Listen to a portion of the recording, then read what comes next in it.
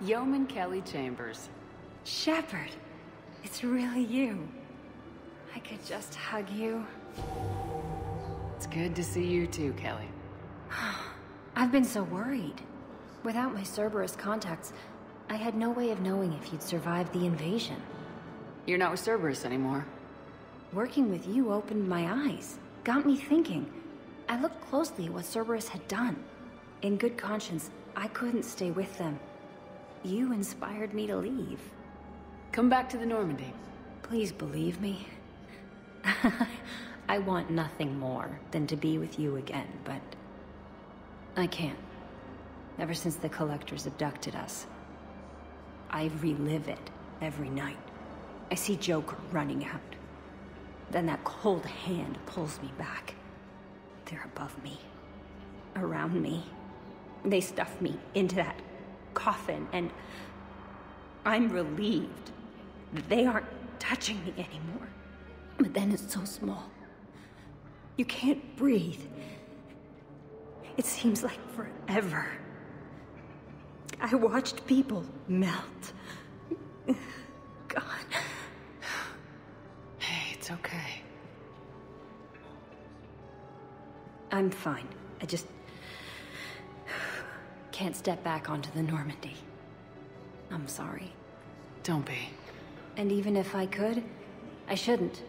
I'm making a difference here. If there was ever a reason I studied psychology, it was to help people at a time like this. Didn't think Cerberus liked people going AWOL.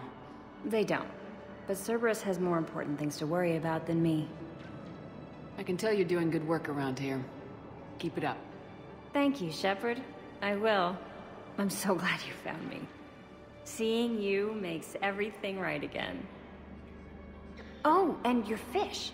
Nobody was going to take care of them with you in custody, so I saved them. I'll send them back to you. Oh, I need to run. Please be careful. Shepard, I'm glad you came by. I need to apologize to you. About what? Back when I was your yeoman, I betrayed you. I didn't mean to, but I did. What are you talking about, Kelly? I would send reports to the Illusive Man about the emotional state of the crew, including everything I knew about you. I thought we were all on the same team, that I was helping you, protecting you. But looking back, Don't worry about it. You were there for me.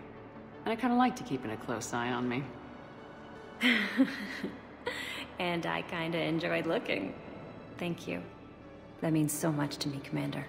Whatever happened to the nice lady who was helping everybody out? You mean the redhead? Kelly Chambers? Yeah, that's her. She's dead. What? Yeah. When Cerberus took the docks, they walked right up to her and asked, Are you Kelly Chambers? She said yes, and they put a bullet right between her eyes. Whoa. I guess if Cerberus asks if you're such and such, the correct answer is no.